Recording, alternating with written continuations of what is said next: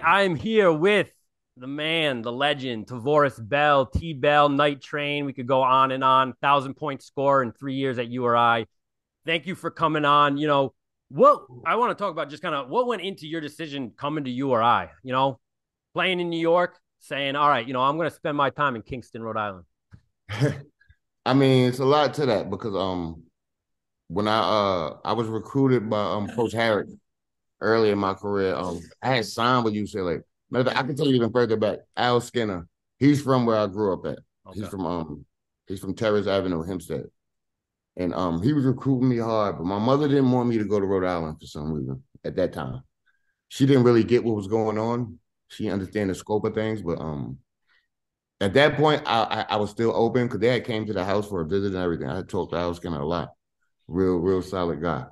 Um, but then we ended up, um, I ended up that next summer after uh, my mother told Hofstra in uh, Rhode Island that I wasn't it was too close.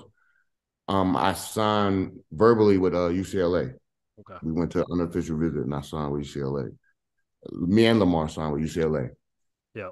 But um, Coach Harrick ended up getting fired for um paying for one of his uh recruits' friend's meal or something of the sort. So when he got fired, I was going to prep school in Massachusetts, and um, I got a call like five, six in the morning to go to Rhode Island for an unofficial visit. Uh, my assistant coach for prep school, I mean high school, he came and got me. He took me to URI. I went on a visit. On my visit, my unofficial visit, they let me drive a. Uh, you know what got me? It was the boat. They let me drive a yacht. Nice. They let me drive a yacht. No, really. They let me drive a yacht. They let me drive it all around Newport. And and I was sold on it. It was just the energy there. I, I was really sold on Rhode Island from yeah. you know, when they were coming to recruit me younger, I didn't understand it. I didn't know what type of atmosphere. It reminds me of home so much because yeah. I'm from Long Island. I'm around the water a lot. So Yep. Once I got to, you know, go up there and, and, and meet the people and kind of get an understanding of the energy there, I was totally for it. And Coach Harrick, I always wanted to be coached by Coach Harrick.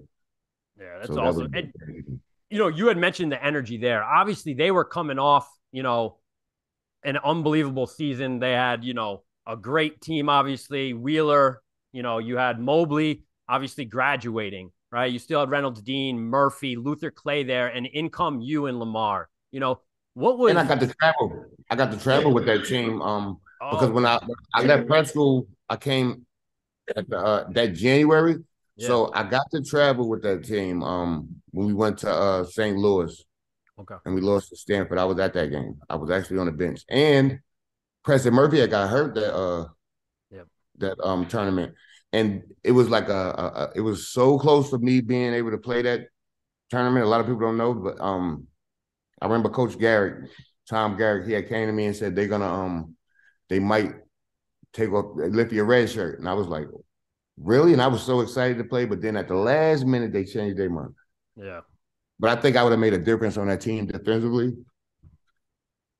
For for that tournament, I think we would have had a bigger, a better chance. I think defensively.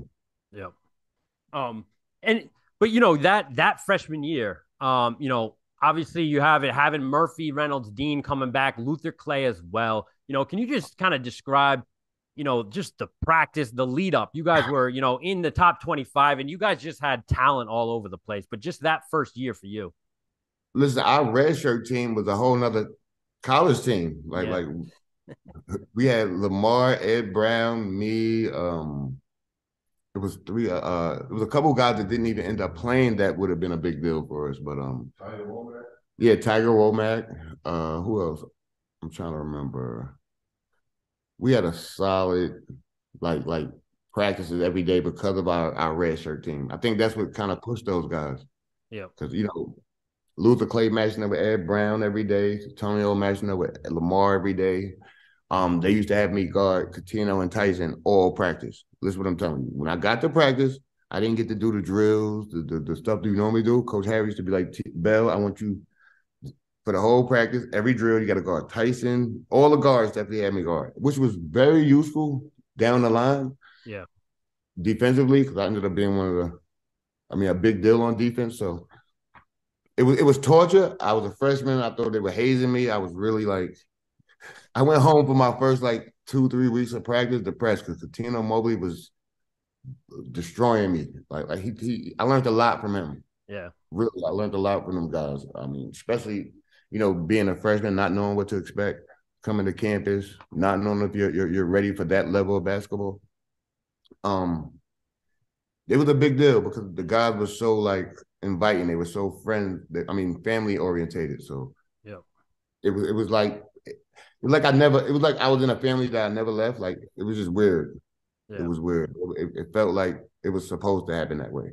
Yeah, and, and you I, know that that year, you know, obviously a lot of ebbs and flows. Um, you know, I remember even as a fan watching you guys, and again, there's high expectations because of the guys brought in because of the year before. You know, you ended that year, uh, the regular season. You guys lost two. I remember talking to Reynolds Dean. You know, they lost. I think you guys lost senior night to it was Fordham or St. Bonaventure. But what was your mentality going into that A10 tournament, knowing you had to win that to get to the NCAAs? We lost to George Washington. George Washington. That's we lost to George Washington because it was a bad loss.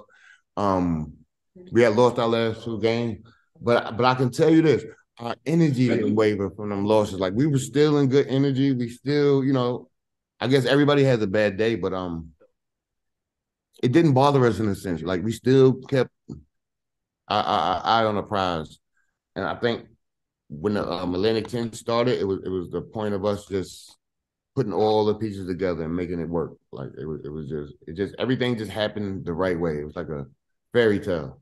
Yeah, it was and still fairy tale. I gotta ask you: Are you mad they didn't give you the ball and they gave the ball to Lamar with five seconds left against Temple? Um, nah, I'm not. I'm not. So you gotta understand, me and Lamar played all through high school, so I was used to them thinking he was the star, and I really was. So I, I kind of let him I kind of let him live on that one. You know, we talked about it after. He, he really gave me a high five. Said, "T Bell, I appreciate you letting me take that shot." It was. I'm like, you know what? I, you know, you know, I'm.